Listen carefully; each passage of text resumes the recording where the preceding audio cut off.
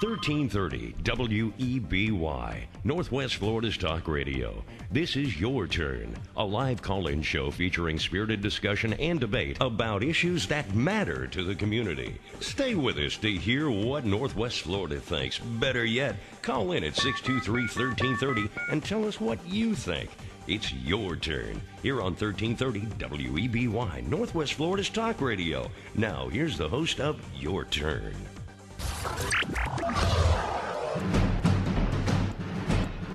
Have nothing. All right. Well, that one's not going to work. well, folks, listen. Welcome to Freedom Friday. We'll get that drum roll going again in a moment, but we're just going to bust in right now and welcome you to the show today. I'm so glad that you're listening to us, and of course, we're broadcasting live this afternoon, 1330 WEBY, uh, right out of Northwest Florida, and we're broadcasting to four states along the Gulf Coast, and of course, we're broadcasting over the internet. If you want to be a part of the show, uh, you know, when you uh, are away from the black box called the radio, uh, just go to Carl Gallup jobs.com up in the top right hand corner click the listen live link and it'll carry you and or to weby uh, 1330weby.com listen live link. Those two places you can get a hold of us live on the internet. Plus you can uh, stream us over your smartphone on tunein radio app and uh, you can take us with us take us with you wherever you go. All right well again, we've got a two hour show today. Brandon Big B's in the studio with me today. Mallory Bardwell, your world famous producer, and uh, she'll be taking your calls and lining you up in the queue. We're going to be taking your calls during the entire show today so that you can jump in on what we're talking about. We've got some top stories, some breaking stories, some interesting uh, comments and investigation and opining on these stories, and so you can jump in and be a part of that.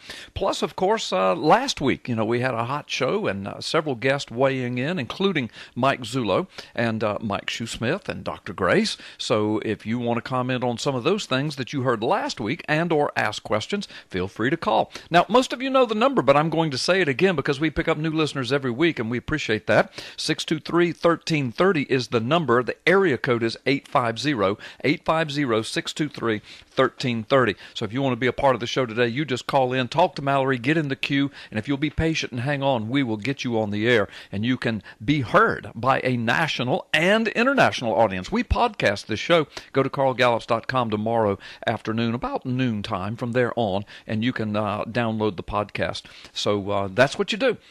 In the meantime, I got to say happy Valentine's Day to folks out there. Oh, I, I see guys riding down the road right now, Brandon, slapping their heads uh, I think a few guys just ran off the I know, I know. And by the way, welcome to the show today. Thank you very much. I appreciate it. I know you've got some hot stuff to talk about, and I can't wait to dive into it with you.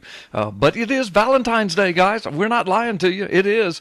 I'm, I'm a hero today. I'm all covered. I, I, I got my precious Valentine, some beautiful flowers, and uh, had them delivered to her, and uh, was able to be there at that instant, which is very, very unusual for me to be able to be there when the flowers are delivered. But I was today and saw this wonderful smile come across her face, and you know, happy Valentine's Day. So, uh, it, listen, it, it, in case you forgot, you still have time. Those of you in the Northwest Florida area, I want to encourage you. I want to urge you to get your flowers where I got my flowers and where I purchase my flowers every time I get flowers for any occasion, and that's the Purple Tulip Florist right here in Milton, Florida.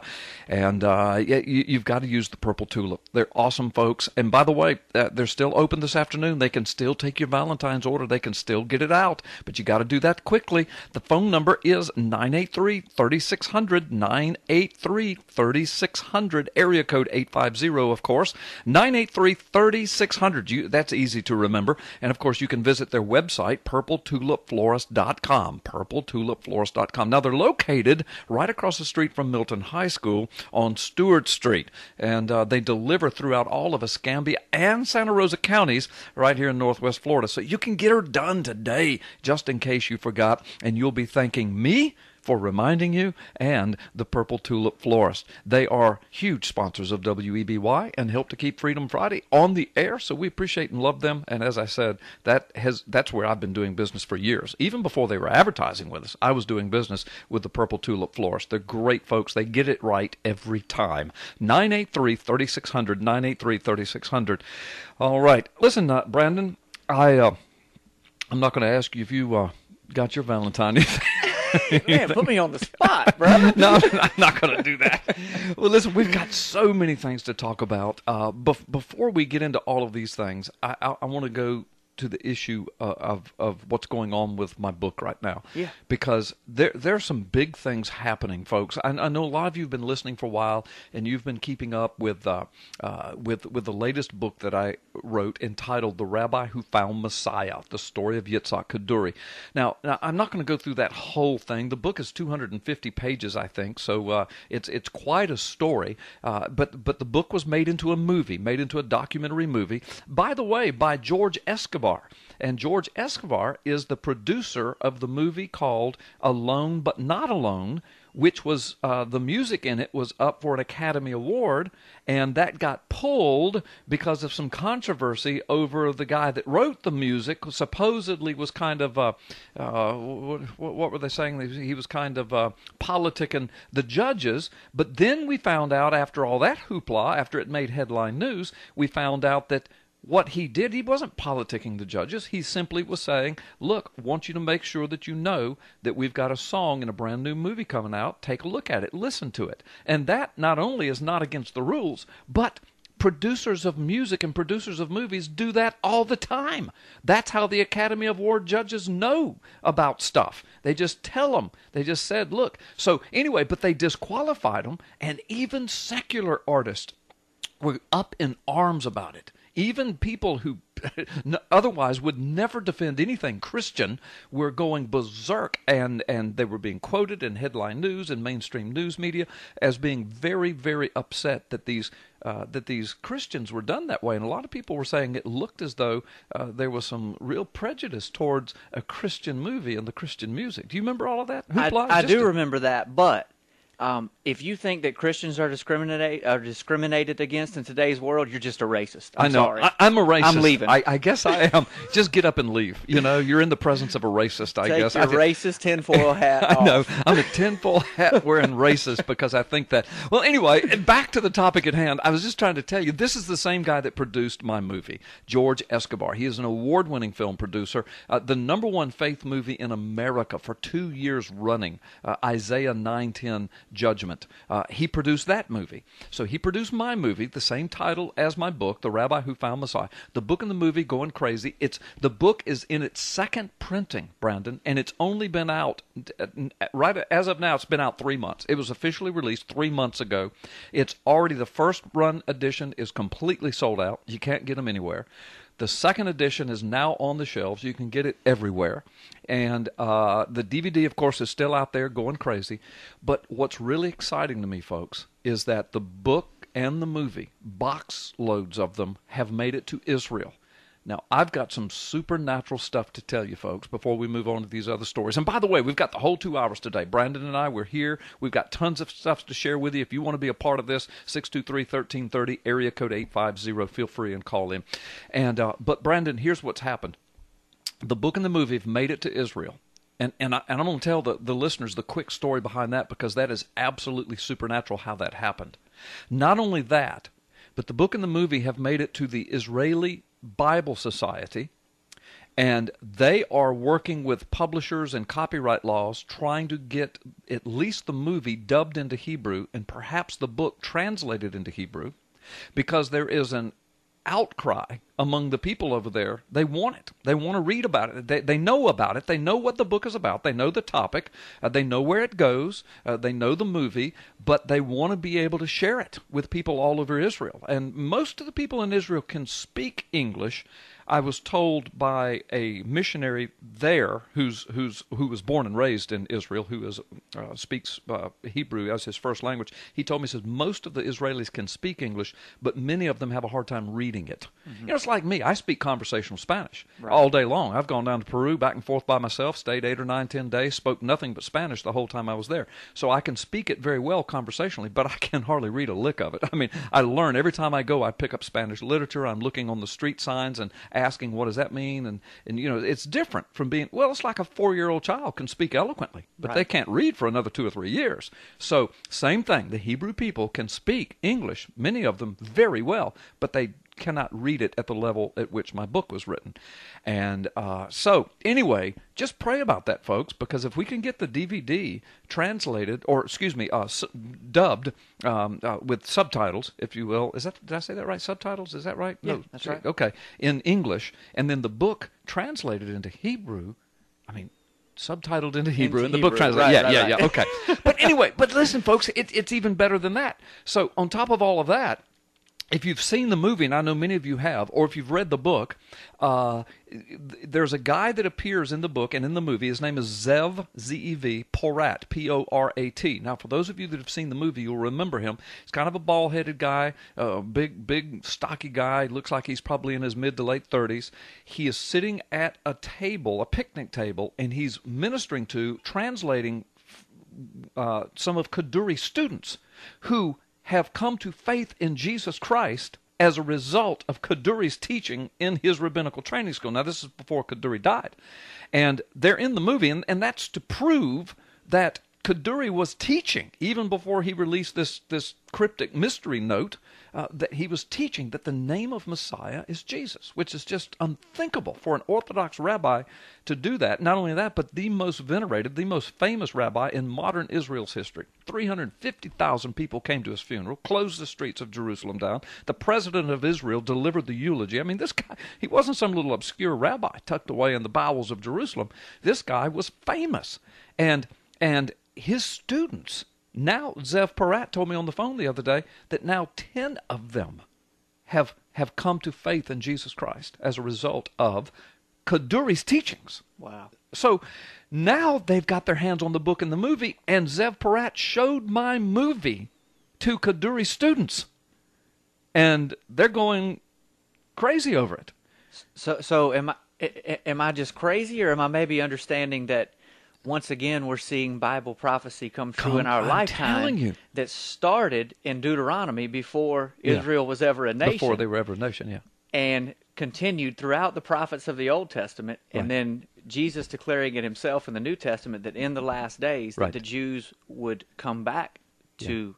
And they uh, would come hear and they would respond. That they would be, have a longing for Him, for the Right. true Yahweh. Right. Yeah. And they would hear and they would respond. Not only that, but there's prophecies in Joel, uh, repeated again in the book of Acts, that says, And your young men will dream dreams, and your old men will have visions, and your sons and daughters will prophesy. And by the way, the moon will turn to blood red. And that might happen in the next well, couple of well, years we've got blood moons coming this year and next year. By the way, folks, if you want to jump in and ask questions about this, you want to ask questions about the blood moon phenomena, I'm prepared to answer that. If you want to talk about this Kaduri phenomena, we're prepared to talk and answer to that. Plus, we've got tons of top stories Brandon and I are getting ready to get into. So you can be a part of all this today if you'd like, or get you a cup of coffee, glass of tea, whatever, Coca Cola, sit back and listen and just enjoy.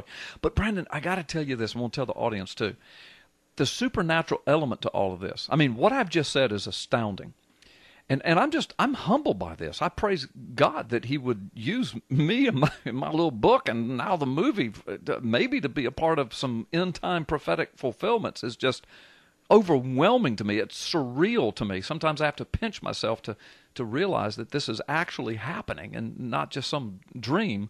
But here's how it began, Brandon. And and and audience, listen to this now. This is well, actually, I'm going to leave you hanging there because I just looked. It's time for our first break. We're going to take a two minute break. When we come back, I'm going to give you this God story, this supernatural uh, connections that happened out of the clear blue to take the books and the movies to Israel now into the hands of that guy that was interviewed in my movie and now into uh, Kaduri students themselves and in and around Israel. It is absolutely astounding. As soon as we come back, I'll tell you that, and then uh, Brandon and I are going to dive into some really cool stuff. You're listening, Freedom Friday. Carl Gallups. Brandon Bigby is with me today. We'll be right back.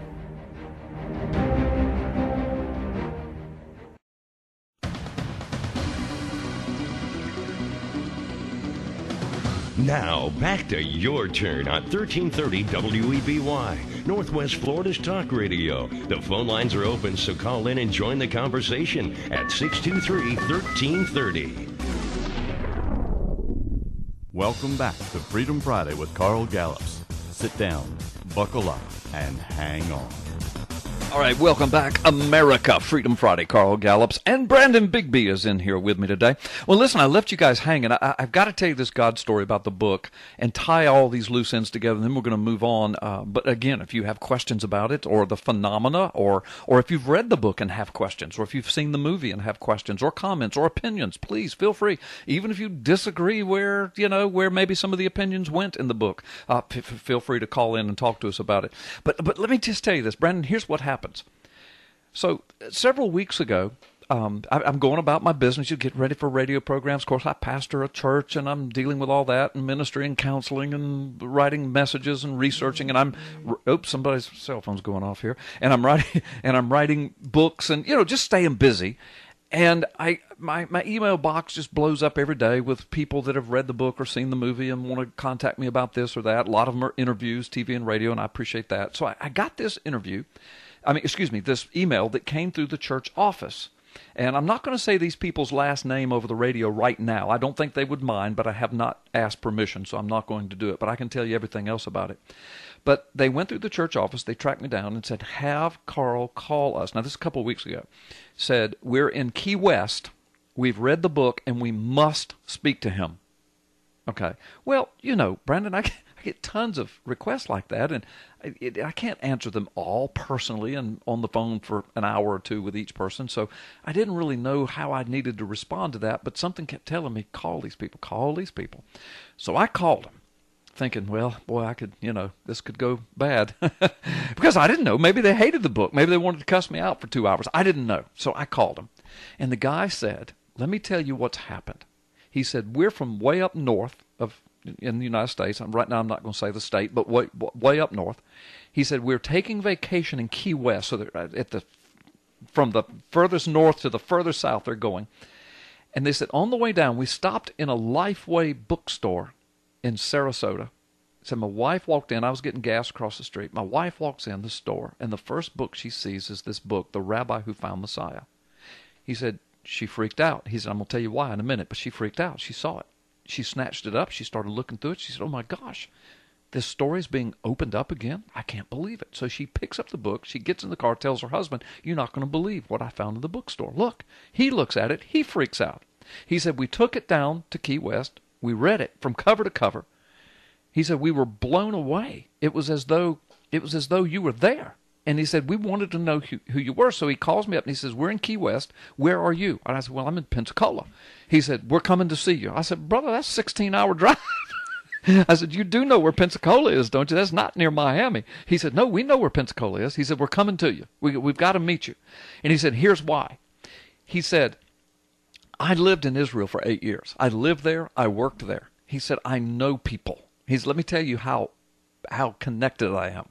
He said, and I forgot the year. I think it was 2004, 2005. He said, I was invited as the only Gentile Christian in the history of Israel to be invited, invited to speak before the Sanhedrin Council in Jerusalem. He said, and they told me again when I arrived that I was the first Gentile Christian ever to be asked to speak before them, to represent the ideas of Christianity. He said, that's how tied in I am to the Messianic Jewish community, the Christian community, and the Jewish community, and kind of a liaison between them all.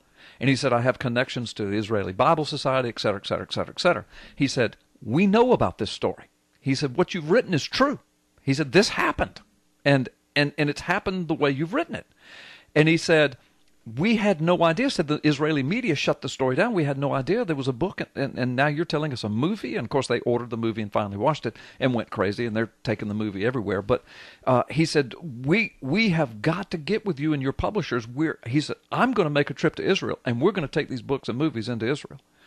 And that's how that opened up. Well, when they got there with all the stuff, the the the, the outpouring of of uh, interest was so huge that then they asked me about Zev Porat, who's the guy doing the interviewing. They said, How do we get a hold of him? I said, I don't know. I don't know the man. I've never met the man. I said, I just knew that he had these videos out there and I knew he was involved as an evangelist among his own people. See, Zev Porat, Brandon, was born and raised Israeli, spoke Hebrew from, a, from his first language. His grandfather was a famous rabbi in and of himself and was friends with Kaduri. Says that's how he has his inside connections. By the way, folks, Zev Porat's going to be on Freedom Friday next Friday. He's going to be calling out of Israel. It'll be one o'clock in the morning when he calls over there, but he's going to be on this show next Friday, folks. And so Zev Porat, finally, they found him. These people from up north, they tracked him down, gave him the book and the movie. He went ballistic over absolutely berserk. I mean, in a good way.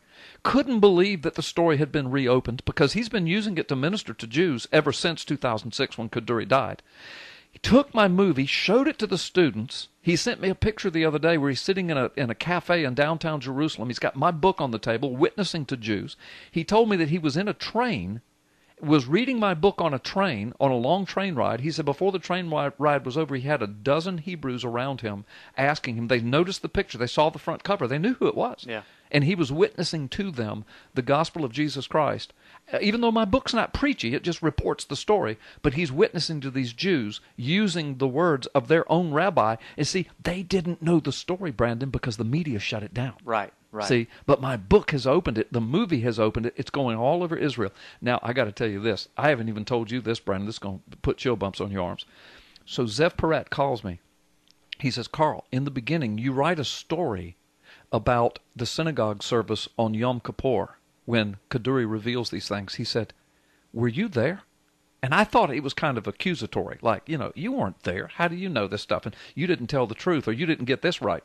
And so I explained to him, I said, no, I wasn't there. I said, but I researched it from these various sources, et cetera, et cetera. And he kind of heard me being a little defensive, I think, and he said, oh, no, no, no, no. He said, I'm not saying that you got anything wrong. He said, the reason I asked if you were there is because he said, I know people who were, and I was on the fringes of that. And he said, What you wrote in this book, it is as though you were there. Wow. He said, It is exactly what happened. And I said, Well, I just kind of wrote it fictionally using facts that I had researched. He said, No, no, there's nothing fiction about this. He said, It's as though you were there. You see how anointed that was? Yeah. I, I'm telling you, folks, listen, that's enough of that. I've used this whole first segment to talk about it, and we've got to take a break and come back. And from there on, we're just going to talk about other stuff, unless you want to talk about this. But, folks, I'm telling you, if you don't have this book, get it. Go to Amazon, anywhere. The Rabbi Who Found Messiah. Get the movie. It's amazing. Show it to your church. It's being shown to churches all over the nation. You've got to see this, it will blow you away. Well, you're listening to Freedom Friday with Carl Gallups. When we come back, we're going to take some stuff right out of the headlines and or stuff that should be in the headlines but's not, and we'll be uh, commenting upon it and tearing it apart. You can be a part of the show. Brandon Big B's in the studio with me. We'll be right back after this brief time out. Freedom Friday.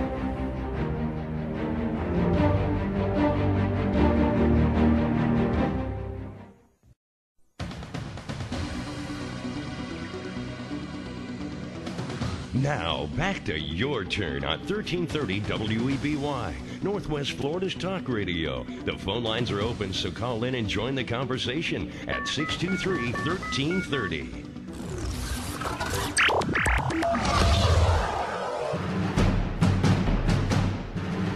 Why are you here? to get some money. What kind of money? Obama money. Where's it coming from? Obama. And where did Obama get it? I don't know his stash. I don't know. I don't know where he got it from, but he giving it to us to help us. We love him. That's why we voted for him. It was the most memorable time of my life. I, I, it was a touching moment because I never thought this day would ever happen. I won't have to worry about putting gas in my car. I won't have to worry about paying my mortgage. You know, if I, if I help him, he's gonna help me. This message has been brought to you by the official Government Hope and Change Commission. All right. I just, but I, that never grows old to me. I just enjoy, enjoy listening to that. And I, I don't know. I, I- you know, I heard somewhere, Brandon. Do you have any information on this? That that last woman that was speaking, I think she has since kind of recanted or something. the first one. The first one. She's known as the Obama phone lady. Okay. And I'm gonna tell you how it happened. I Okay. heard it happen actually live. Okay. Uh, Infowars crew went and found, Found this her. lady. Yeah. Brought her in the studio in Austin, Texas. Wow. and Alex Jones went on air with her Uh-huh. and laid out fact after fact after fact and converted her own air, brother, and got her to admit she was being paid by the administration at the time. Wait a minute. You mean other than the Obama phone, sh- they actually put money in her hand. Somebody did. She was being actually paid To say those kinds of the things. administration. Oh, my And you know what I was thinking when that clip came on? The Yeah. second girl Yeah. talking about I don't have to worry about putting gas in my car Yeah. and paying my mortgage. Yeah. She was kind of right. Yeah. Not because Obama gave her everything, because pretty soon you ain't gonna be able to afford That's to right. put gas in your car and pay your Or pay mortgage. your mortgage. You might not be able to now. That's right. Don't have to worry about you it. let them keep wrecking the wrecking this country Right. and wrecking the economy. Right. And she's right. Well, speaking of wrecking the economy, I saw a headline news or, or a news uh, item today uh, making its way around internet news about the EU. Yeah. Uh, talking about confiscating personal savings. Now, this is another thing that we could add to that P.P. Simmons article several weeks ago about things that us tinfoil hats Yeah. are, are Been- going to be right on. Right, There been was talking a whole about list for- of things that we were have already been right on. Right. This is one that we will be right on. It happened. Cyprus was a test run. Right. You got a little island A sitting over there that, yeah. people don't even know where it is. Most people. Um, it, and it was very wealthy at one time. Right. A, a tourist place, beautiful place Goes all the way back to biblical times and, all the way and back before. to biblical Yeah. times. Just understand, people, that they conf- they went into people's bank accounts, Retirement accounts, savings accounts. savings accounts, bank accounts, retirement accounts, And took because money. they thought they had too because the government thought they had too much money and took the money to pay government debt. Right. The government determined uh, that these people had, quote, too much money and the government needs it. So they just took right. it. Reuters has a story today. Same headlines, basically. The EU, the, uh, Reuters has gotten a hold of some leaked documents Right. where the EU is admitting internally that they're planning to do that this year. So Cyprus was a test run, and the E- EU was Cyprus watching a it test closely. Run. If it happens in the EU, just understand we are next. Canada last year in some of their uh, in some of their government meeting, I don't know Congress, their equivalent to our Congress, Right. Said openly that that was a part of their 2014 budget. Oh my gosh, to confiscate funds? Yes. Well, and I want to say this, and I want listen. I know people listen to radio going down the road, and they're you know they're looking at their cell phone and kind of half listening sometimes. Sometimes, uh, so so please hear. me. And I appreciate that. Appreciate us being in the background. So be careful that you don't misunderstand or misquote what I'm going to say. But I did see an article a couple of weeks ago uh, and, and, and officials within the government, I don't remember who, were discussing the possibilities of doing that in the United States. Yes. Now, please hear me, folks. I'm not saying, we are not announcing that in, in any official way that the government of the United States is going to confiscate your funds. I'm just talking about it happened in Cyprus. Now the headline news, they're, they're, they're considering it very seriously in EU. You just mentioned in Canada the, that possibility put into their budget, and that was and that can be documented. And I'm telling you, I have read where discussions are going on in the United States about that possibility here. Yes. Eh, eh, Well, not only that, but uh, just in the last couple of days, Obama gave a speech, interview, and he, I mean, he, he almost said that. Um, you know, he, he's he's pushing these these government controlled uh, uh, retirement accounts now, Right. basically. Uh, you know, give all your money to the government for your retirement, and we'll take good care of Oh it. Oh yeah, sure, sure. Because they sure always it's have, all there. Because they always because have. they always have because Yeah. they've done everything they said they would ever Yes. do. They've never lied. like the Social never Security stolen. Social Security lockbox. Yeah, Exactly. there's not a box. There's not a lock. It would just be a new government Ponzi scheme, is Right. all this will be. right. So, j- j- just understand. I-, I mean, this isn't to scare people. It's not to alarm people, but just wake up and think. Look what a little snowstorm has done in the outrage that it's caused, and people going crazy. They're Yeah. they're uh, you know emptying Yeah. grocery uh, store shelves. Right. Same thing with a hurricane here. People go nuts. They buy up all the gas. What if life was just going to be like that? Right. What, What if, if what if we had a 1929 all over again? Right. It- and you woke it up to you woke up tomorrow, and that's just how life is. I used that example back uh, right after Thanksgiving in the Black Friday shopping. Right. I mean, we see people beating each other, stabbing each other, guns being pulled Over over, toys, a little junk, uh, the junk. latest electronic device that'll be obsolete in two weeks. Yeah. That you're putting on a credit card because you don't have the money in your pocket to pay Yeah. for it anyway. And you're going to be paying for it long after it's obsolete. That's exactly right. And- but that's just a little glimpse of Right. what things would be like Right. if the grocery stores didn't have food Right. tomorrow Right. or the next day or the next day Right. or if you didn't have electricity in your house Right. We, we we've got right now the culture that the rest of the world wants to emulate and or come to even if they have to do it illegally and risk their lives. We have the great, greatest economy, the greatest nation, the greatest freedoms although they're being ripped from us every day anywhere in the world. However, as Brandon just demonstrated, do you see how fragile it is? Yes. Well, it is so fragile. And it's very interesting because uh, just this last week there were several articles around the internet that pointed out that United States citizens that were that uh, were revoking their citizenship Right. is up over two hundred percent in the Record number. last twelve months. Right. Listen, you and I know a guy uh, that was that served this country deeply. Mm-hmm.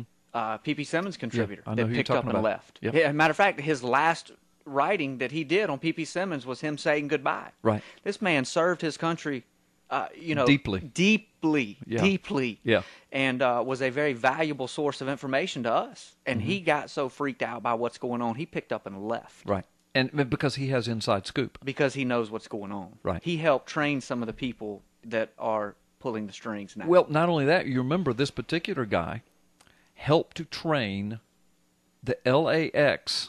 Well, not no, not The LAX, LAPD the LAPD SWAT team. Yeah. In handling LAX terrorism scenarios, he helped to train them. And this guy is a friend of mine and yours, and right. he's been on PP Simmons contributor. And when the whole LAX TSA thing went down here six months ago, folks, do you remember that? You hadn't Yeah. forgotten that, have you? Where this TSA agent comes in and shoots up a bunch of other agents, et cetera, et cetera. And and then what did they what did we say was going to happen right after that? That they were going to move the barriers of the TSA further and further out. And sure uh, enough, just a few days later, that was being proposed. there was a call to arm them within less than 72 hours. Now, I haven't seen that happen. Right. But, But- within less than 72 hours, there was a call to arm the, Arm the TSA. TSA agents. And now we see random searches of vehicles parked in Right. long-term parking, illegal Right. searches. Illegal searches. We see de- Unconstitutional. we are now seeing detention pods. At the entrances and exits of the airports, where literally you have to go through a glass detention pod at the exits of some major airports. This will be in Pensacola Right. within just the next couple of years, I'm sure. Right. So, yeah, it, Well- it's it, it's unbelievable the expansion and the And corruption. do you remember that this gentleman we're talking about told us when all of that was going down on the news? He knew nothing about nothing. He was just watching the news like everybody else.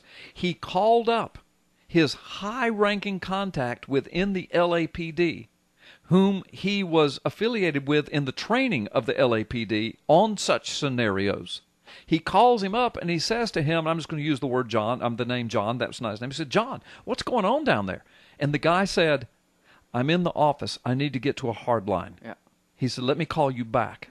And in a few moments, he called back our guy and he said, It's a setup.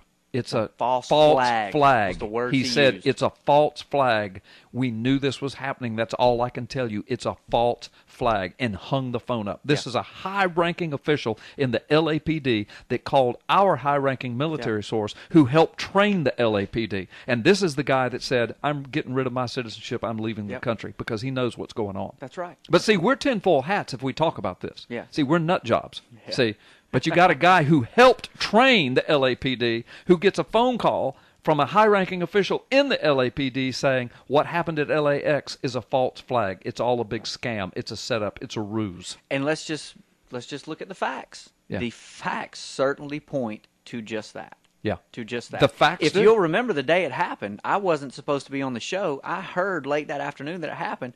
I literally pulled over my truck and called you and said, I've got to come on because I've got all these articles from six months ago where they were training for this exact scenario and it it happened almost to the T. Just like this. And and that evening, the LAPD police chief Admitted on air. Yeah. goes on the air and he admits it, but it was a faux pas. It was a slip of the Yep. tongue. In fact, we've got a video of his high ranking officials standing around him.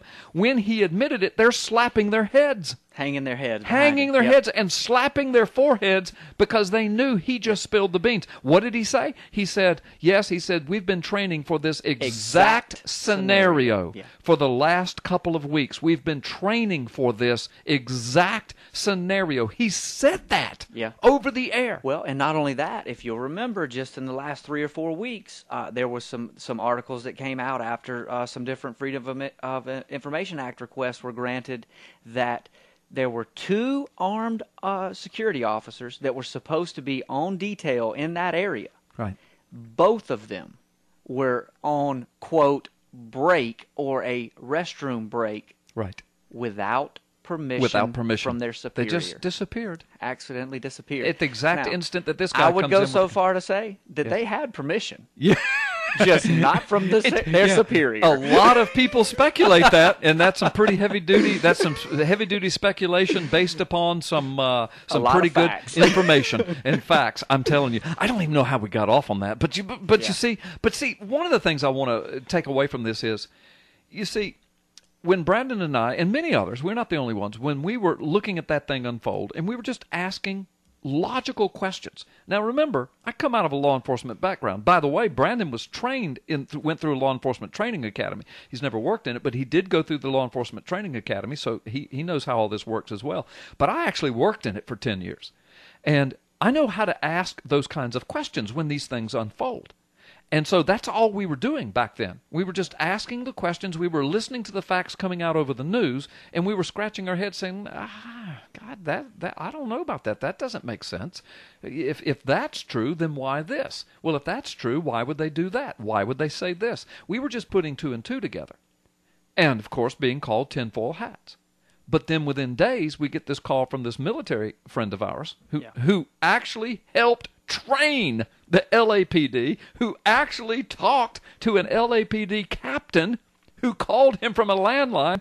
And before our guy could even ask any questions, the captain saying, This is a false flag. Don't believe anything you're watching over the news. Yeah. This is, and then he used some expletives mm-hmm. and, and hung up. Now, Yeah. I mean, so what we were, the questions we were asking, we were dead on. That's right. That's we right. didn't have on tinfoil hats. We were thinking like logical people uh, with didactic reasoning, Well- like a cop. And, and you know, another thing that's been a big clue to me over the last several years, and, and you see stories like this, when you, you have a story like this, that that you, you know, if all the if everything lined up and it, this was a crazy nut who was anti-government and went in there and shot the place up like they wanted it to be, Right. like they made it out to be, Right. this story would stay headlines for months. Right. It's gone. Right. It's gone. Yeah. Let, let me give you some other examples. Okay. Um, The woman they executed in front of the That White House. uh, Is that Mar- where you were going? Miriam Carey. Miriam Carey. Brother, And they her executed sister Valerie. this woman in front of the White House for supposedly ramming a barricade, which she didn't do. Nope. For supposedly shooting at Capitol Police, Which she didn't do. She didn't do. Uh, for, For- supposedly fleeing at high speeds, which she didn't do. For being crazy and on medication, which, she wasn't. Uh, so now, where's that story? And It's what? gone. Oh, but they gave the guys that murdered her. Uh, they gave them big medals, and Congressional medals. Uh, you know, Yeah. after the congressman crawled out from under their desk. Right. hiding. Yeah. Yeah. And them- hiding yeah. and squealing like little six-year-old girls. But you know, think about that. Hey, let me give you the biggest one of all, brother. yeah. Sandy Hook. Yeah. That story, if it was 100% legitimate, It would still be. if if one crazy nut job went in there and murdered, and listen, people died, kids died in that school, Yes. and that is a shame. right. But the facts point to that it probably didn't happen the way that we're being fed that it happened. Like the news reported That's exactly Yeah. right. If that story was legitimate, our, our our computer screens, TV screens would still be smeared with that story to this day. But because we, the alternative media, exposed that, like the Boston Found bombing, out the farce, like the LAX TSA. they have to make it go away. They have to make it go away because we know it's time for break. We got to take a break. We're going to come back with more of this in just a moment. You're listening to Freedom Friday.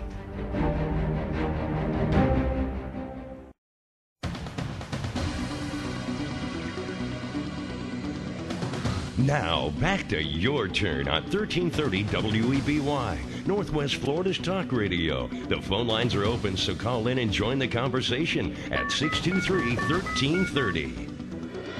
Aren't you glad that you patiently waited? Carl is back. He is in the Oval Office of Gulf Coast Talk Radio, and you are with him. Freedom Friday with Carl Gallups. All right, folks, welcome back. Welcome back, Gulf Coast. Welcome back, America. So glad that you've tuned in today, and we're broadcasting live. We've got callers on the line. If you want to be a part of the show, 623 1330, area code 850. Uh, Brandon and I are just talking about all of these um, these events that have very, very uh, spurious connections around the edges, and, uh, and, and, and we're, we're bringing some stuff to the table. But let's go to the phone lines because we've got a guy, Jim. Thank you so much for listening today, and you want to talk about uh, what? Jim.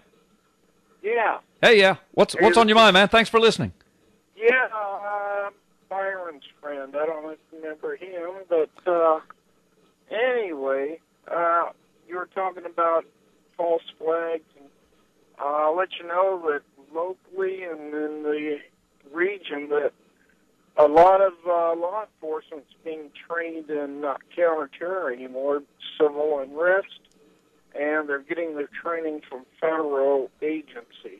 Yeah, it's, it's the militarization of our police forces, Jim, and we have actually reported on that right here, and uh, we're actually going to be getting into that a little deeper uh, in the second hour today, uh, specifically concerning some uh, National Guard activity and some uh, some police forces across the country.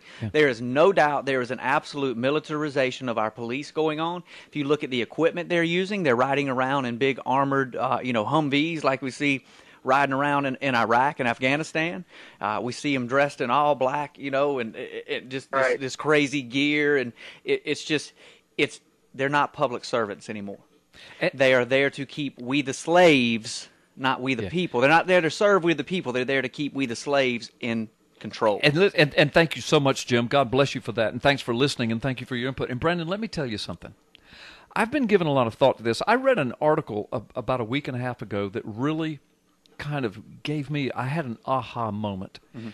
They had a sheriff bragging about all of this hardware, military hardware, and he was up there. I mean, he was saying, "Yeah, you mess with us now, and we'll bring a tank to your front doorsteps." You remember that? Yeah, I mean, he literally said that. but a year ago, we were crazy for saying for that was going to happen. That's right. We used to talk about that, and and now, of course, they're doing it. And and they were talking about how the different you know deputies and police officers. Now, folks, listen. I used to be one. I love law enforcement. One of my best friends in this area is the sheriff of this county, and and like, I've got a lot of law enforcement. I got law enforcement people that are members of my church. I am pro law enforcement, but I had an aha moment when I saw all of that. I said, you know, I put myself back when I was a young law enforcement officer in my twenties and thirties. I put myself back during those times and you know gung ho trained and all the latest training stuff and and out there doing my job looking for the bad guy trying to protect the public. What if the next thing i knew hey guys we got this opportunity to put you through these swat team things and this militaristic training and we're getting this equipment in. And i mean you know you look and say man that's cool. That's really cool and that we can do our job better and we can do this and we can do that. Yeah and you know there's a bunch of freaks out there now and there's a bunch of uh, uh, you know kind of homegrown terrorists and we got to be prepared for them you know yeah rah rah we're ready we're ready. You know i can understand the psychology because I used to be a cop. And I'm not saying all cops don't use their heads and they get all emotional. I'm not saying that. I'm just saying there's a psychology. Yeah. Boiling the frog slowly. Yeah. And now our police have moved into this paramilitary mindset. And you got this sheriff that was on there talking about mess with us now and we'll bring a tank to your front door. Yeah. Because he's all caught up in it. I see how it happens. Well, eh, eh, you know, and not only that, and again, just, just let me just back up what you said. Not anti-law enforcement at all. I appreciate the guys that are out there that are hardworking and are there to protect you and I. I, I do, you know, as Me and my family as much as anything. But you know, it's unfortunate that we see, and this is mainline. guys, Just just just run a search engine on this: police hiring lower IQ. Right. Uh, just do some research on world history. When countries are going downhill, one of the first things that the, the, the regimes in charge do is they will take criminals, people who have come out of a criminal background, and put them in places of authority, i.e., the TSA. TSA. Okay, that's, That's that's a prime exactly example. what yeah. I thought of, yeah. But it's happening in our police forces. Not only that, listen, you just you walk through, especially major cities. I spend a lot of time in New Orleans. You walk downtown New Orleans and you look at the police p- patrolling the streets. Right. It's not an average looking uh, guy like you and I. Man, these guys are 270, 280 pounds. Their jaws about to poke out the front of their face. I've been around gyms all my life. Right. They didn't get that way from lifting weights. Yeah. So now you've got the drug factor coming in. Right. And it's just you know you've got psychos running around out there with a, a badge and a gun, and it's they're taking over. I know- I know. Well, good gracious folks. Listen, if you want to weigh in and be a part of this this afternoon, we've got another whole hour today on Freedom Friday, and we're taking your calls. This is just open line Friday. Brandon Big B sitting in the studio with me. We'll take your call 623-1330. Mike Shoesmith can't be with us today. Dr. Grace is not with us today. They'll all be back next week, but this Friday, it's for you as Brandon Big B and I sit in here and uh, talk to you. We'll be right back after this timeout. We got another whole hour. Don't go anywhere.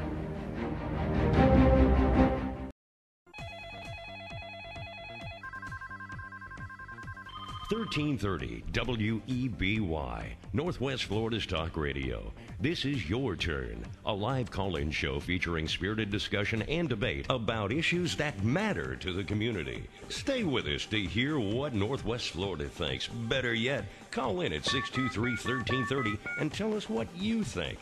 It's your turn here on 1330 WEBY, Northwest Florida's Talk Radio. Now, here's the host of Your Turn.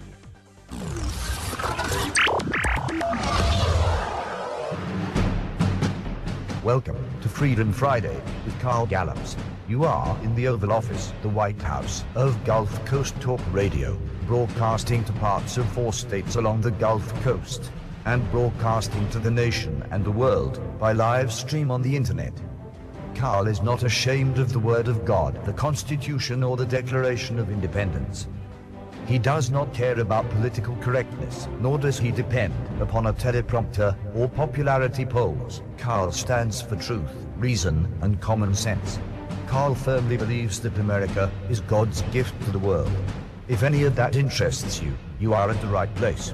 Freedom Friday on 1330 WEBY. Now, here's Carl Gallups. All right, welcome back Gulf Coast and welcome back America. And of course, we're broadcasting live this afternoon, 1330 WEBY. So glad that you've joined in.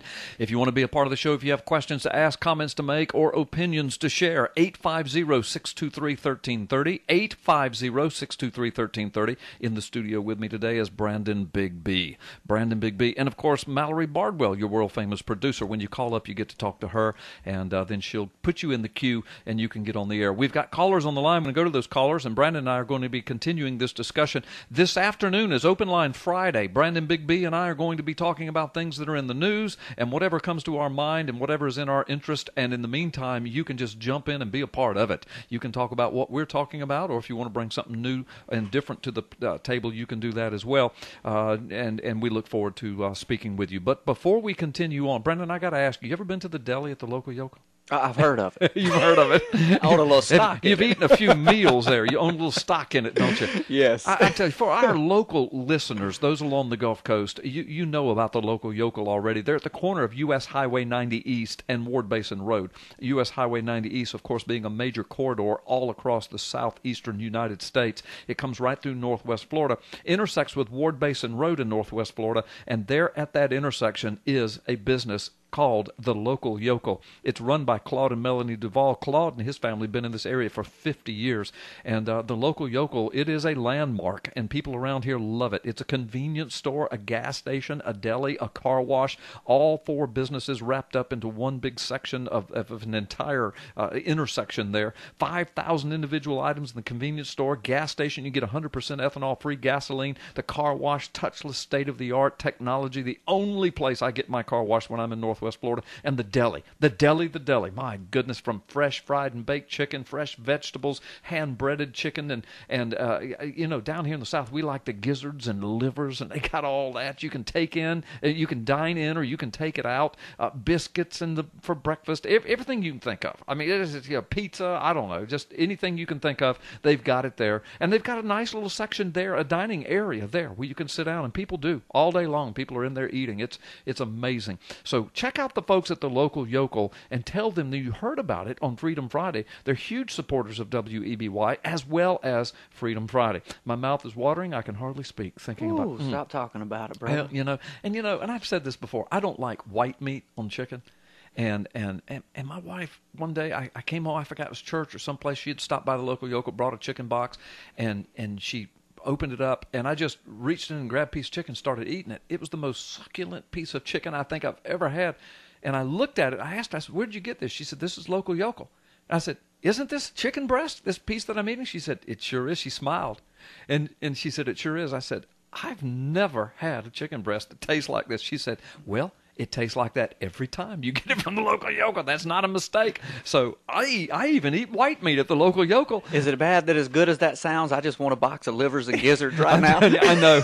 I love the, liz- the lizards and gizzards. I love them. Oh my gosh. Let's go on. We've got folks on the on the line, and we're so glad that you've uh, that you've held on. James, uh, thank you so much for listening to Freedom Friday, and I know your mouth's probably watering too. But uh, listen, uh, what what what you want to say, my man? Thank you. Yeah, you got me confused with that food. I was thinking about that, but anyway. Okay. uh, but uh, yeah, in the uh, sixth chapter, get right to it. In the sixth chapter of the Book of Revelation, it speaks of the four horses of the apocalypse. Yeah.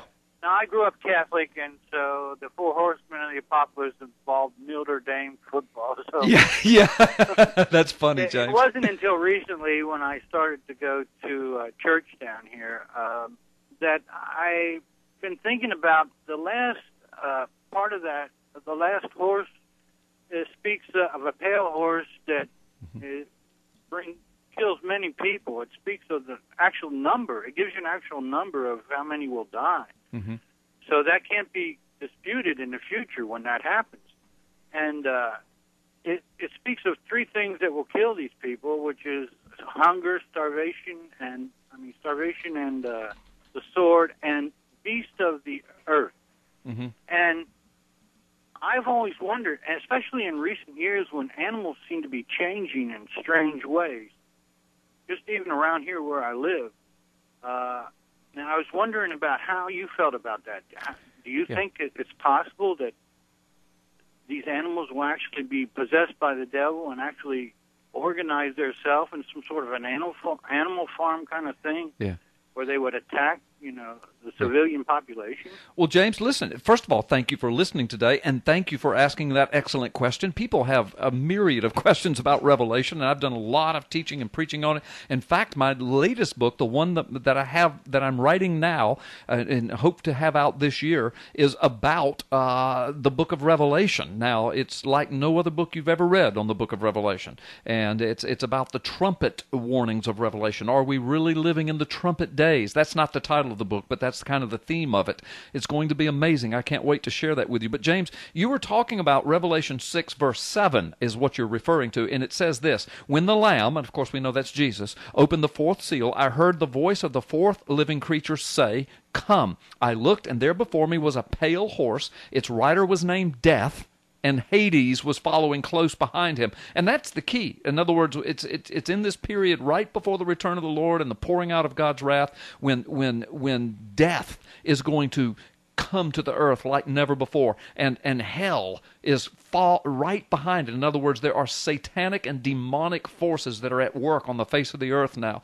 And it says they were given power over a fourth of the earth to kill by sword. Of course that would be war famine, and that often follows war, and plague, which often follows devastating wars. And of course, a lot of folks think that we may be on the verge of World War III anyway.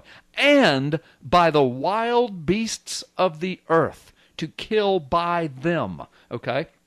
So, yes, you're right, James. There seems to be an implication that there will be a, a demonic presence or power even over the wild beasts. However, more practically speaking, think about it.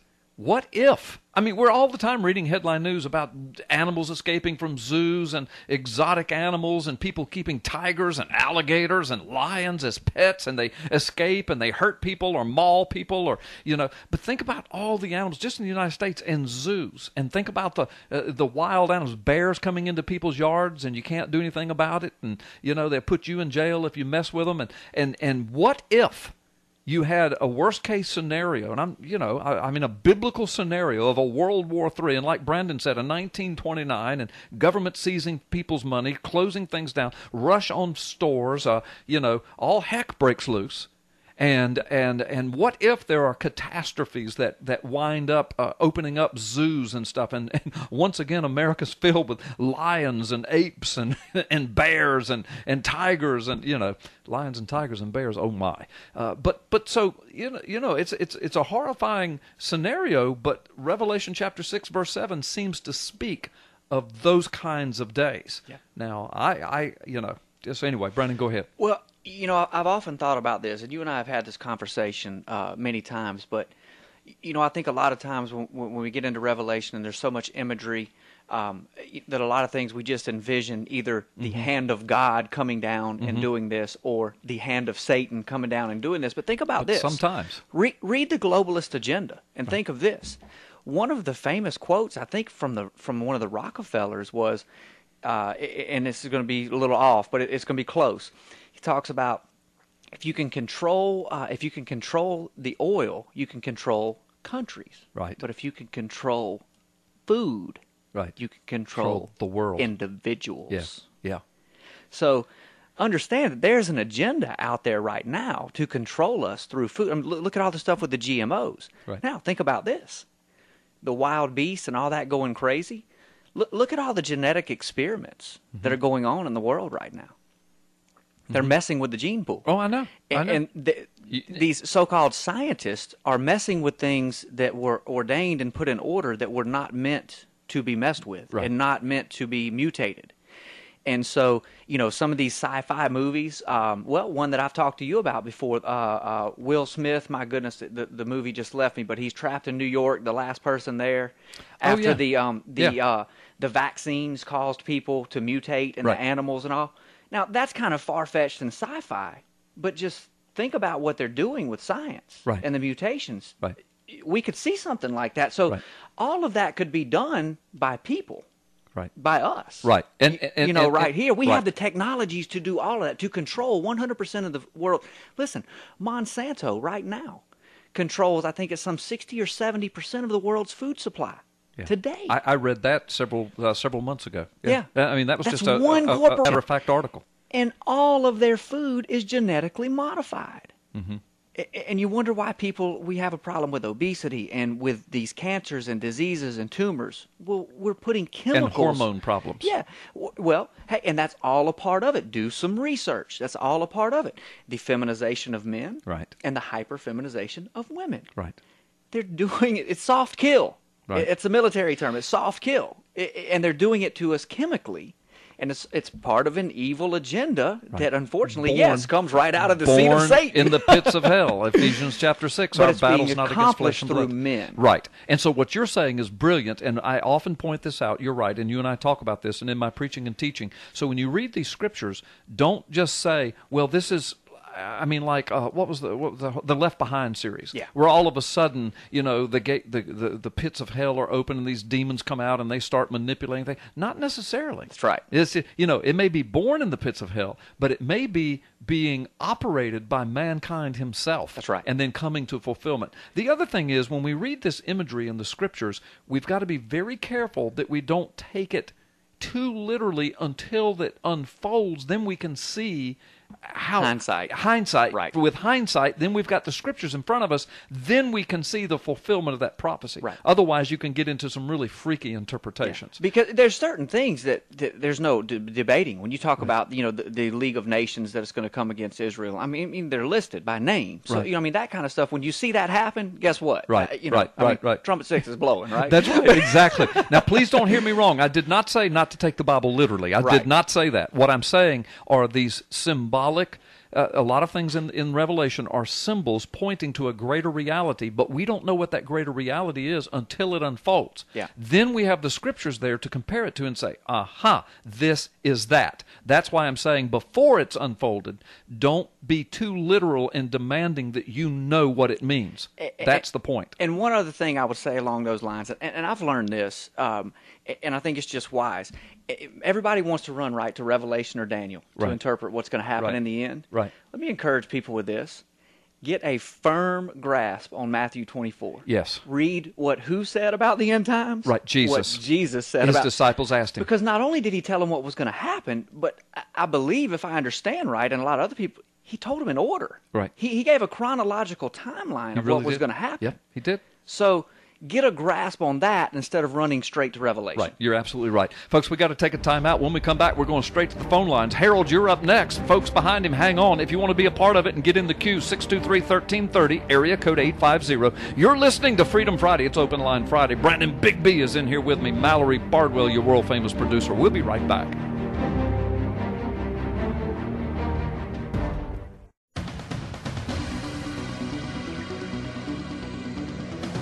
Now, back to your turn on 1330 WEBY, Northwest Florida's talk radio. The phone lines are open, so call in and join the conversation at 623 1330. How can one man bother so many people by simply telling the truth? Freedom Friday with Carl Gallups, the Oval Office of Gulf Coast Talk Radio.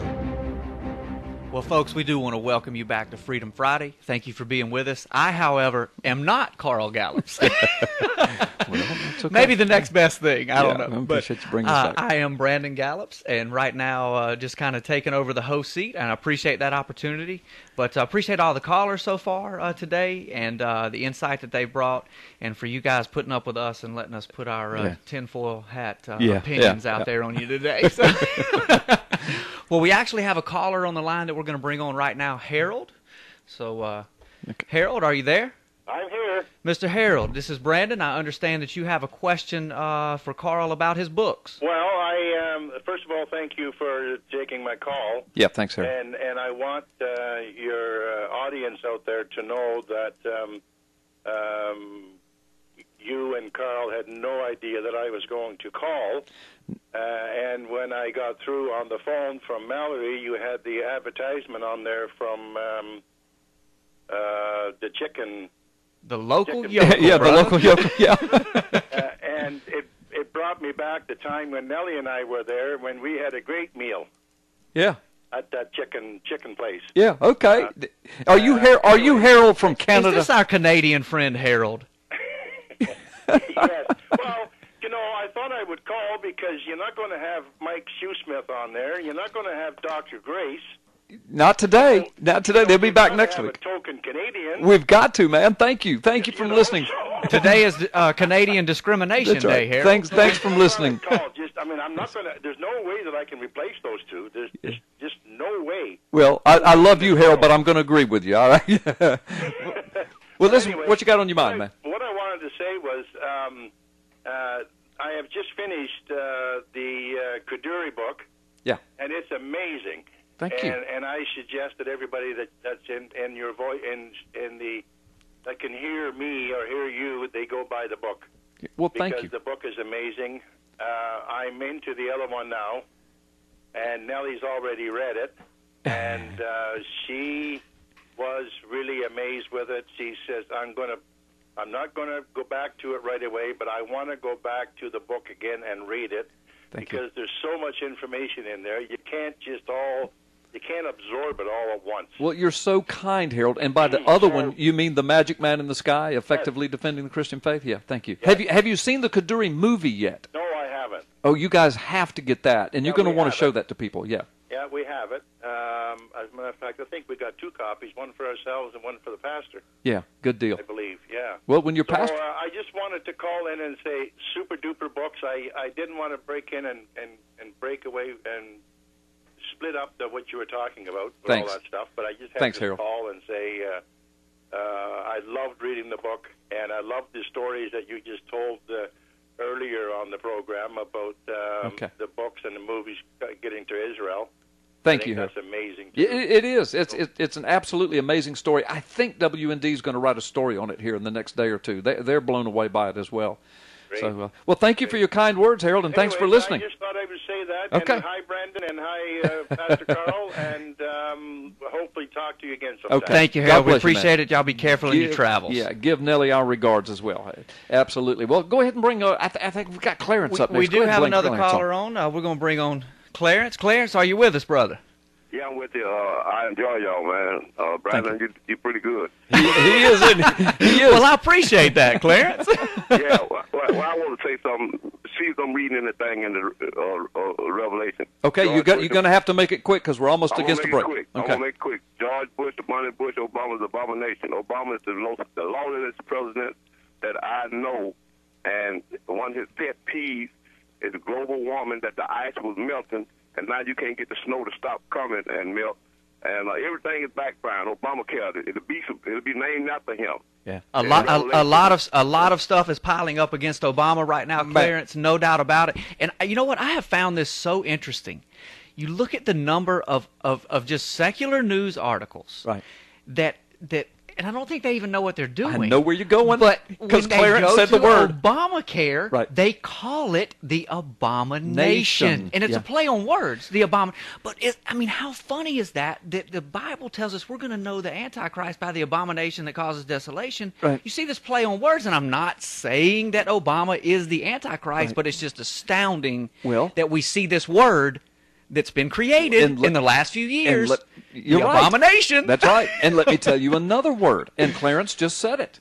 He said this lawless one. Yes. Rush Limbaugh for the last two weeks has gone off on Obama, calling him the lawless one, and other. I've seen other headlines of secular sources talking about the lawless nature, and even they don't know. Now Limbaugh may know because Right. he claims to be a Christian, but they're using terms that describe the Antichrist in Second Thessalonians. Biblical terms. He will be known as the lawless one. He will tro- throw truth to the ground. Yes. He will. Uh, basically, I'm going to paraphrase now. Basically, just do what he wishes. He and Daniel says that, Mm-hmm. and, and then he will destroy the law, and people will uphold him as some kind of a, uh, you know, a Messiah type, if you will. And and but he's called the lawless one. Yeah. And the last two or three weeks, just go through news on the internet and see how many articles talk about Obama as being the lawless one. Yeah, yeah, no. I, am it's amazing. It- and thanks, it- Clarence. Thank you has so much. been unbelievable to see that, and like I say, the uh, the the abomination one has just absolutely blown me away. I've seen that time and time again the last several months.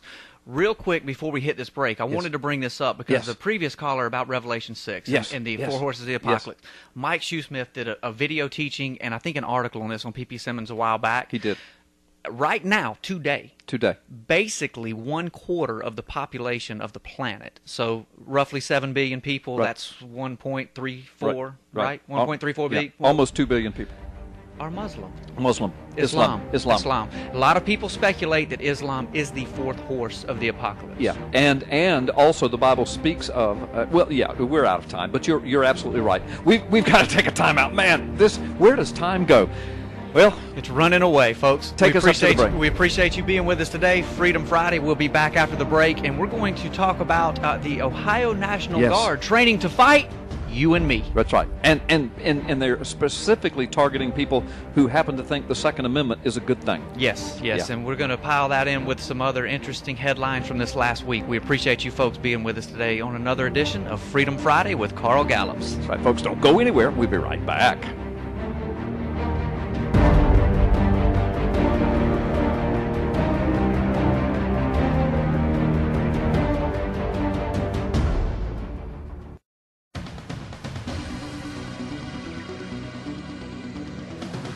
Now, back to your turn on 1330 WEBY, Northwest Florida's talk radio. The phone lines are open, so call in and join the conversation at 623 1330.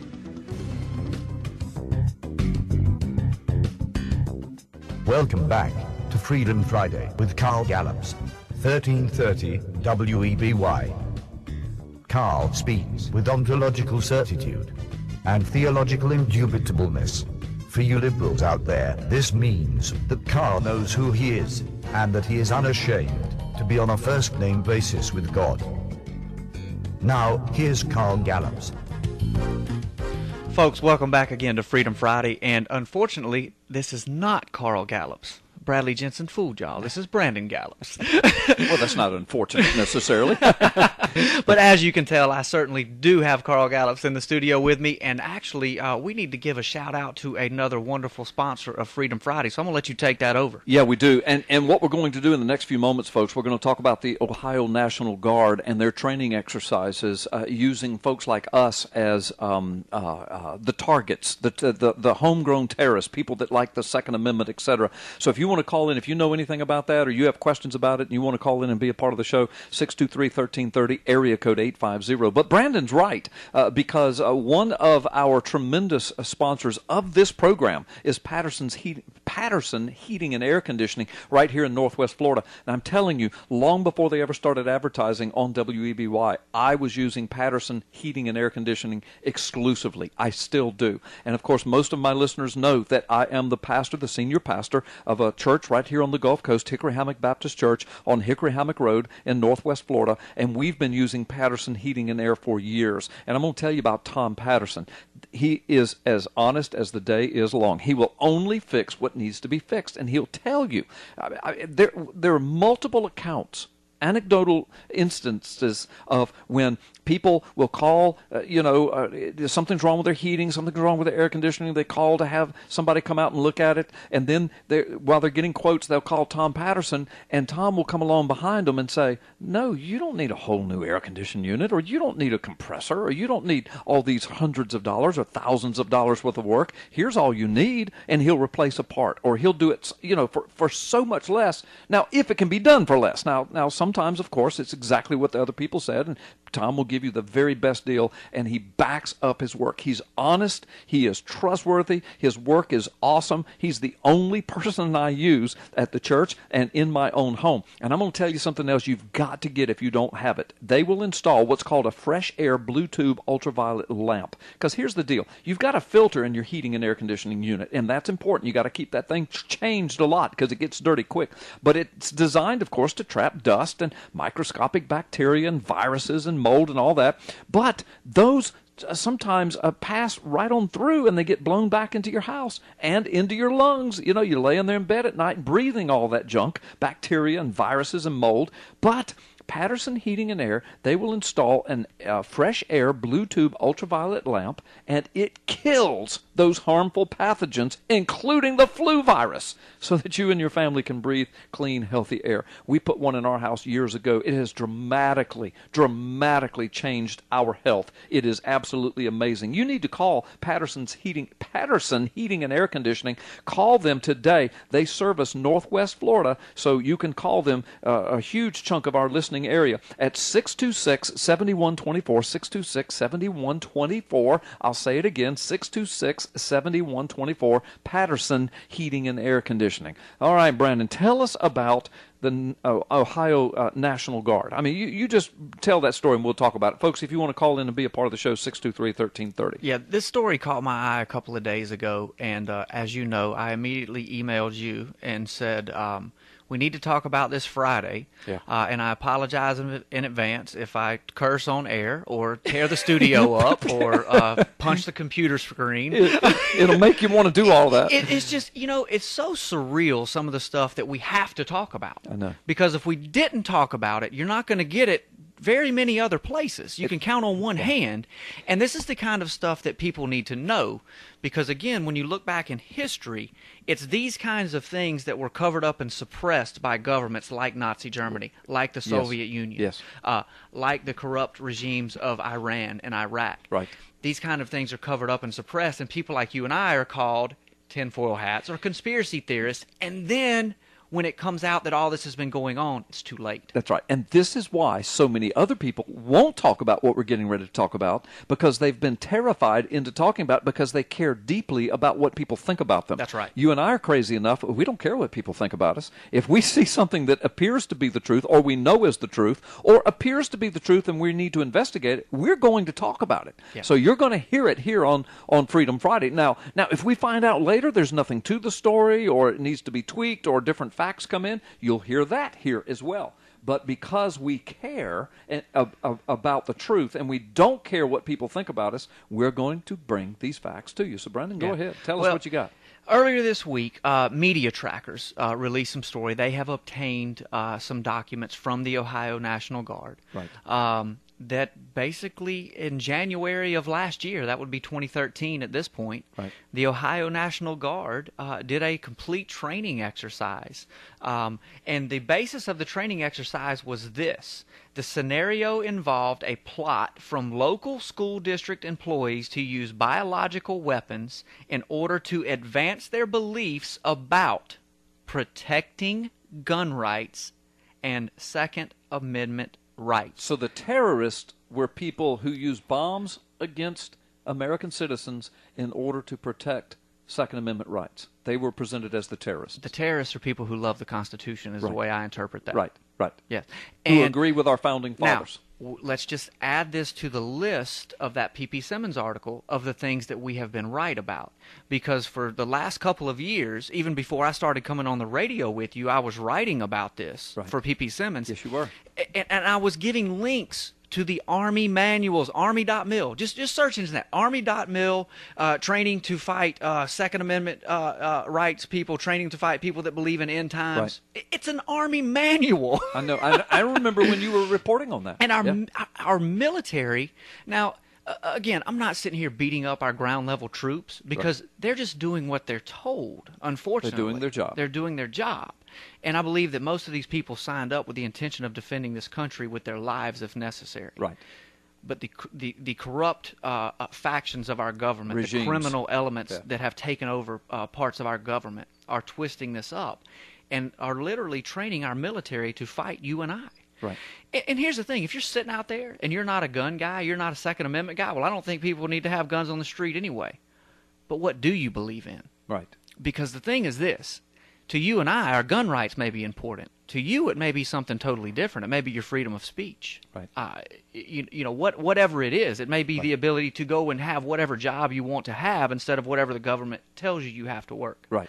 you, you know, there's a million different examples we could use, but whatever it is you believe in, they can take it away from you. That's right. And if we don't stand up together as a country right now, as people, as individuals, as citizens, as sovereign citizens of, I- hope, the last great free nation on earth, Right. then it will be gone very Right, soon. right. And, and I want to read this quote because it's kind of a famous quote. Um, and you know, I heard this several years ago, and it just hit home. It's from Martin Niemöller was the gentleman's name. He was a priest in Nazi Germany. Right. And this is probably ring some bells with some people if you're a student of history. But here's what he said. I, He said, I, I know this. This is awesome. he said, Then they came for the trade unionist, and I did not speak out because I was not a trade unionist. Then they came for the Jews, and I did not speak out because I was not a Jew. Then they came for me, and there was no one left to speak for me. For me. Right. So if we put that in today's terms, what does it say? Well, they came for the guys that love their guns and their religion, you know, the bitter clingers. Right. But I didn't speak out because I wasn't a bitter clinger. Right. They came for the guys who wanted to have the ability to speak up against their government whenever they didn't uh, think, whenever they thought they were corrupt. Right. But I didn't say anything because I didn't really care what my government was doing. Right. And I thought they had tinfoil hats, and I didn't want to. Yeah. So I didn't. But speak then out. they came for, For me. me. And the guys with the guns and the guys that were willing to speak up, They're gone. Were already gone. That's right. And nobody could protect me. So I- I think the point of this is again, this is not fear mongering. This is reporting the facts. Right. The Ohio National Guard held a three day training to fight me and you. Right. Because we are viewed as the terrorists. And said it in writing And in their manual. And listen, here even more interesting. The same article points out that the previous year in 2012, Right. they ran the same type of drill to fight left-wing activists. Right. The day after they ran it, they came out and publicly apologized due to backlash. Yep. They have yet to issue an apology one year and two months later Right. since they trained to fight you and I Right.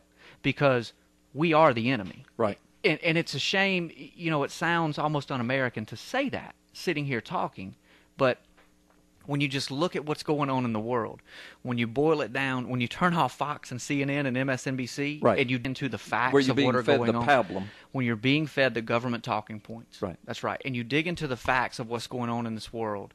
Um, we are living in some interesting times. Uh, Some prophetic. but times. I just, you know, if I could tell people one thing, make a difference somehow. It's a different world. You know, use the internet, use Facebook. Um, you know, look, look at the uh, when we called out for information for PP Simmons. Look at the flood of information that we got, and we were uh, able to open up a whole nother element to Right. this Obama fraud Right. birth certificate. Uh, And beyond. and And beyond, beyond. Yeah. and beyond. So, just use use the information, use the technologies that we have, Right.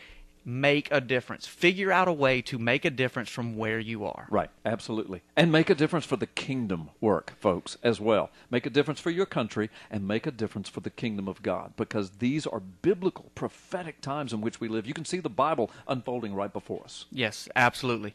When we get back from break, we got a couple of callers We on do. the line. We do. Folks, we appreciate you being with us today.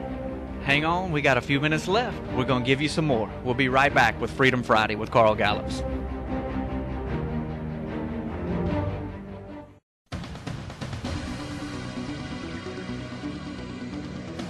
Now, back to your turn on 1330 WEBY, Northwest Florida's talk radio. The phone lines are open, so call in and join the conversation at 623 1330. And now, the Commander in Chief is back. Freedom Friday with Carl Gallups, the Oval Office of Gulf Coast Talk Radio. Well, you are back with Freedom Friday, and I am Brandon Gallups. and of course, uh, in the studio with me uh, is Carl Gallups.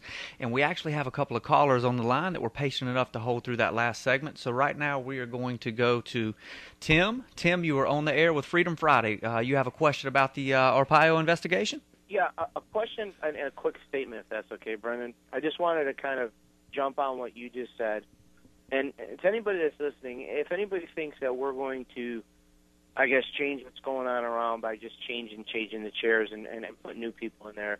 I think they're wrong. That's why I'm really hopeful that something seriously large is going to come out of this whole Arpaio thing or this Operation Spring thing that's supposed to be happening here in May.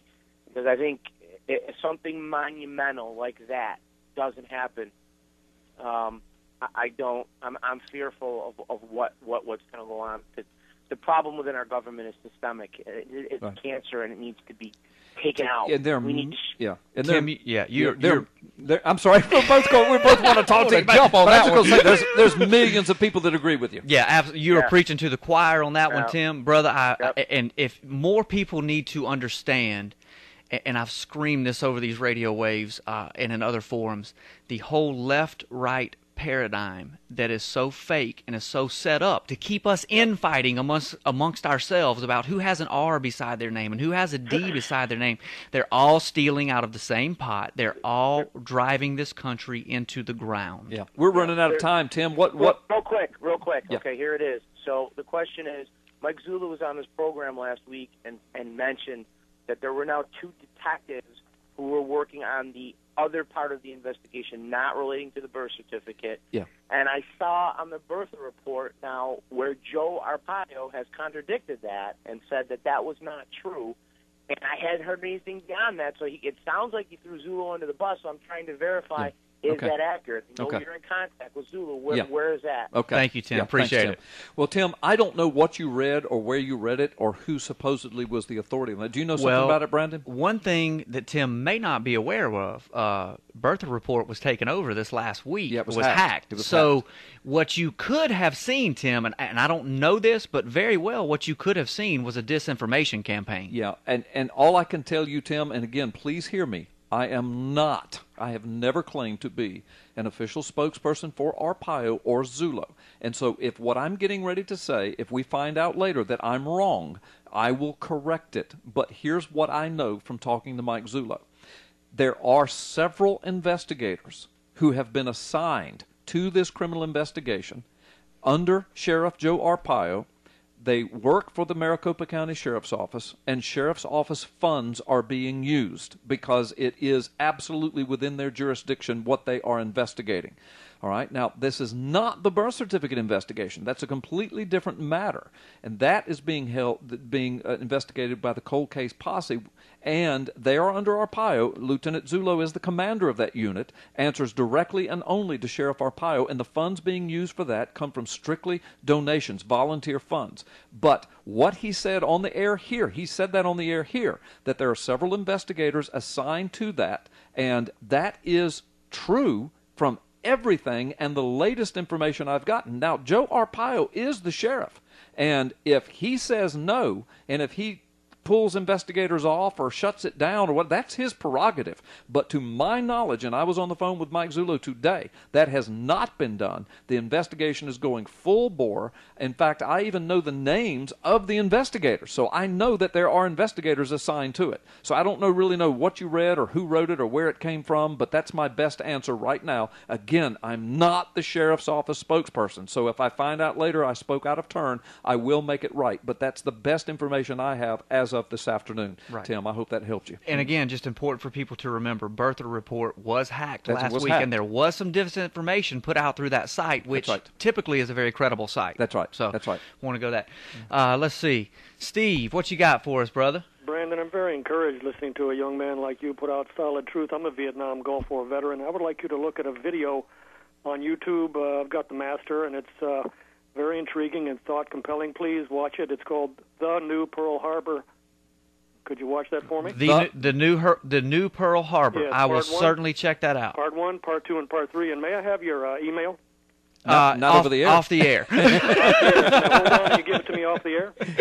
yes, we, we'll we'll allow Mallory to do that, Yeah. Steve, and uh, and we appreciate uh, appreciate the information. I'm sure that we'll be able to uh, be able to find some good stuff to report on out of that. Thanks for listening, Steve. Harbor. Thanks. Thank you, Steve. I appreciate God it. bless you, Steve. Appreciate it.